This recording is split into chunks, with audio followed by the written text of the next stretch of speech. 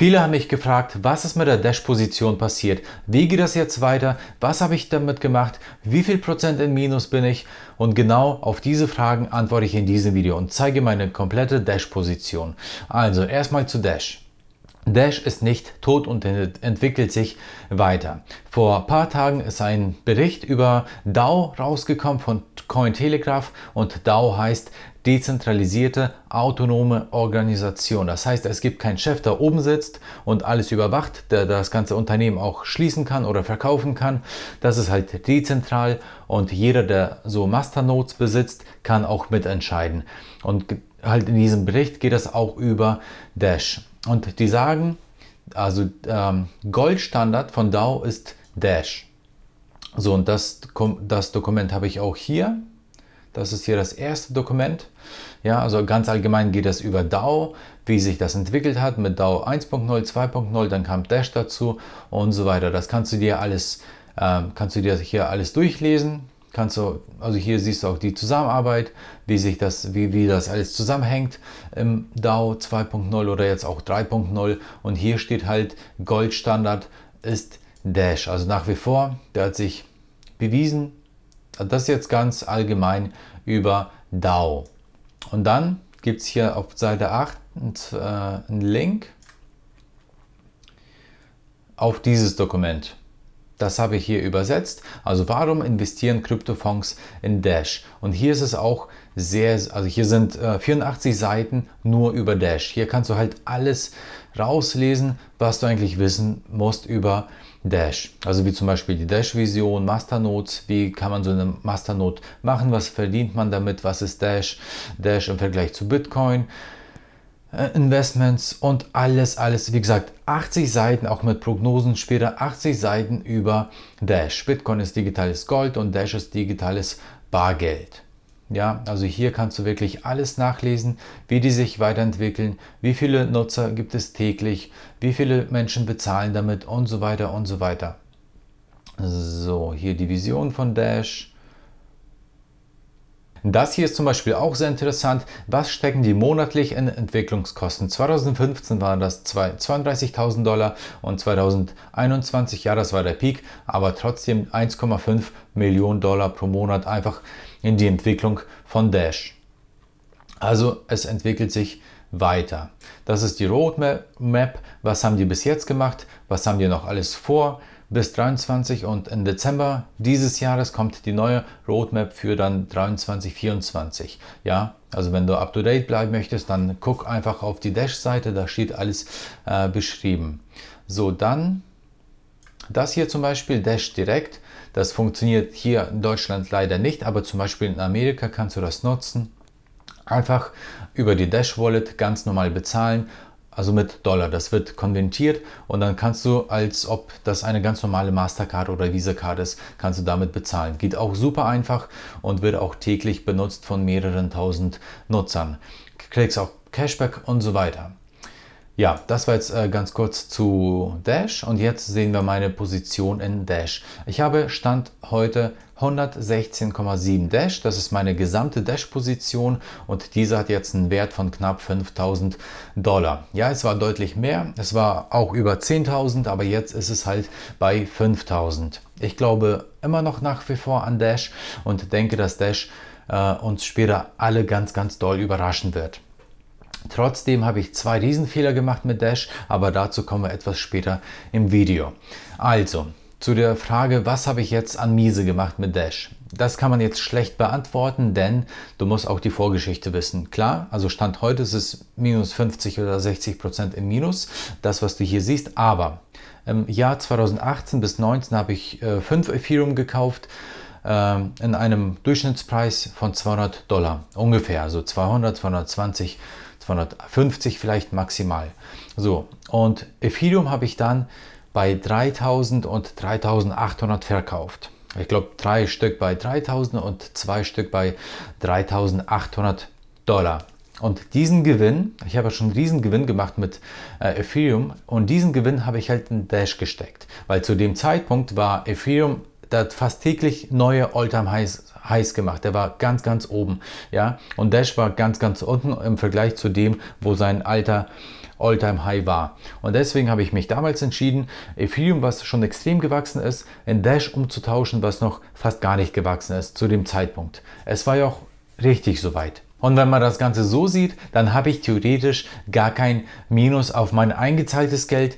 Das ist jetzt ein Minus von dem reinvestierten Geld. Verstehst du, was ich meine? Ja. Aber trotzdem muss ich zugeben, dass ich zwei große Fehler mit der Dash-Position gemacht habe. Das, ist, es, das hat jetzt weniger was mit Dash zu tun, das hat einfach mit äh, Risikomanagement zu tun und mit meinem äh, Vermögens- oder mit, mit der Vermögensallokation. Das ist mir später eingefallen, weil ich bin ja auch ein Mensch, ich entwickle mich fast täglich weiter, ich wachse, ich mache Fehler, lerne daraus und mache diese Fehler nicht wieder. So, und wenn du mich äh, schaust, dann weißt du, dass ich dieses Video gemacht habe. Meine wichtigste Erkenntnis beim Investieren, nie wieder Geld verlieren. Ja, und genau hier habe ich diese selbstgebaute Excel-Tabelle vorgestellt, die du auch unten in der Videobeschreibung findest, unter diesem Video. Ähm, hier erkläre ich, wie so eine Vermögensallokation funktioniert und wie die Gewichtung sein sollte nach deinem Bauchgefühl. Wie möchtest du deine Allokation haben? Ich habe das dann für mich gebaut, geguckt, wie möchte ich das haben, habe dann die ganzen Werte eingetragen, wie Bitcoin, Ethereum, Aktien, ETFs, Cash, alles mögliche und habe festgestellt, dass meine, die, also meine Dash-Gewichtung ist viel zu hoch. Meine Dash-Gewichtung ist irgendwie bei 15% oder auf jeden Fall über 10%.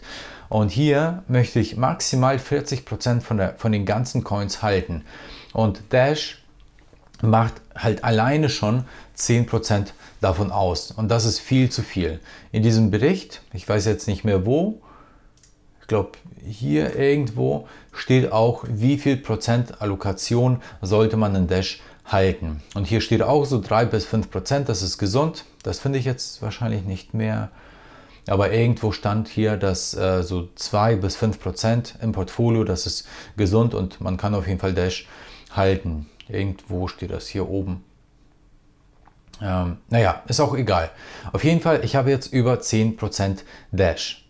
Und das finde ich falsch. Das war nicht richtig. Hätte ich diese Tabelle früher gehabt, hätte ich diesen Fehler nicht gemacht. Das ist ganz, ganz wichtig. Wie gesagt, schau dir dieses Video nochmal an, ganz genau, und trage deine Werte hier ein. Dann siehst du auch, ob bei dir alles stimmt oder vielleicht ist da auch so von der Gewichtung was falsch. Das ist ganz, ganz wichtig. Wenn du das verstehst, dann wirst du nie wieder Geld verlieren an der Börse, weil du investierst dann in ETFs, in Aktien, in sichere Coins und nicht mehr so viel Geld in Shitcoins. Wenn du zum Beispiel hier 10.000 hast, dann rechnet die Tabelle automatisch, wie viel Geld darfst du maximal in Shitcoins stecken, in spekulative Aktien, IPOs, ICOs und so weiter. Das ist echt, echt hilfreich, so eine Tabelle zu haben. Ja, und hätte ich das damals berechnet, dann würde mir die Tabelle zeigen, hier zum Beispiel bei 10.000 Invest, ich darf maximal 800 in gute Coins stecken. Und Dash ist bei mir auch hier mittig, das ist ein guter Coin. Das ist kein Top-Coin, aber das ist ein guter Coin. So, und das habe ich halt damals nicht gewusst oder ich war, keine Ahnung, euphorisch. Ich wollte den, äh, also diesen Gewinn wiederholen, was ich mit Ethereum gemacht habe. Und das ist auch dann schon Fehler Nummer zwei. Und diesen Fehler erkläre hier ganz, ganz äh, genau, warum du immer an der Börse Geld verlierst. Börse gleich Casino, ja, auch dieses Titelbild. Und hier, das ist so ein spezieller psychologischer Effekt.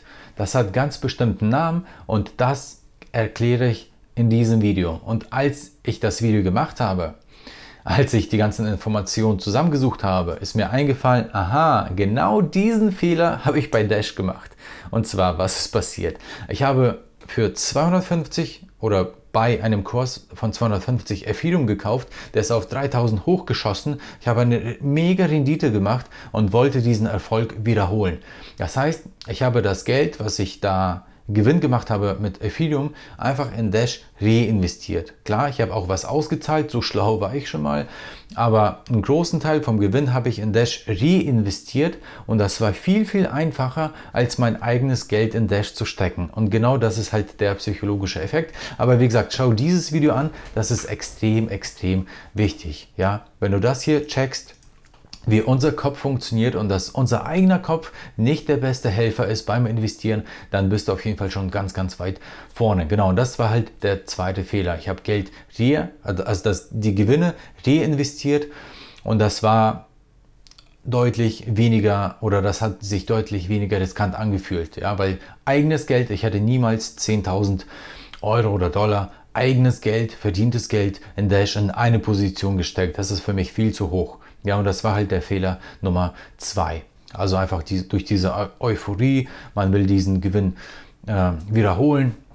Ja, aber das funktioniert oft nicht. Und wie du jetzt siehst, jetzt bin ich halt in Minus von den Zahlen, aber in echt, wenn man so überlegt, was habe ich eingezahlt, was habe ich jetzt, bin ich ja immer noch im Plus. Ja, so, und nur die Zeit zeigt uns, wo das Ganze hingeht. Aber wie gesagt, ich glaube immer noch an Dash und ich halte meine Position weiter. Wenn das jetzt etwas nach oben geht, ich weiß nicht, was ich dann tun werde. Erstmal müssen wir so weit kommen, dass Dash wieder dann bei 2, 3, 400 Dollar ist. Ja, das müssen wir jetzt aussitzen. Aber wenn das halt so hoch ist, muss ich dann neu überdenken, ob ich vielleicht etwas Risiko aus meinem Portfolio rausnehme und die Dash-Position kleiner mache. Das weiß ich noch nicht. Erstmal müssen wir warten, bis wir soweit sind und dann schauen wir, was passiert. Ja Leute, jetzt hast du gesehen, wie viel Dash ich besitze, dass ich diese Dash immer noch halte. Das ist jetzt tagesaktuell. Hier siehst du den äh, grünen Haken. Ja, das ist jetzt kein Screenshot. Ja, das ist alles echt.